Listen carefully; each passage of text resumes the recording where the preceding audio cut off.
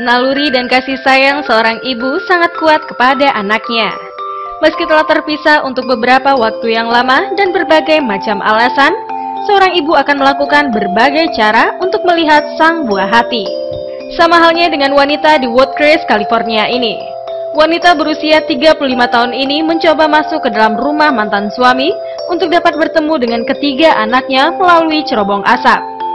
Ia melepas seluruh pakaiannya dengan harapan kondisi itu memudahkan dirinya untuk meluncur lewat cerobong asap yang hanya berukuran 30 kali 30 cm. Namun apa daya, ia justru terjebak di dalam cerobong asap dalam kondisi bugil selama beberapa jam. Ia pun akhirnya menyerah dan berteriak minta tolong. Teriakannya membangunkan sang pemilik rumah yang tidak lain adalah mantan suaminya, Tony Hernandez. Seketika, Tony memanggil tim pemadam kebakaran setempat. Setibanya di kediaman Tony, pasukan pemadam kebakaran terpaksa melubangi dinding rumah Tony agar mempermudah proses penyelamatan. Hingga kini, aparat keamanan merahasiakan identitas perempuan tersebut.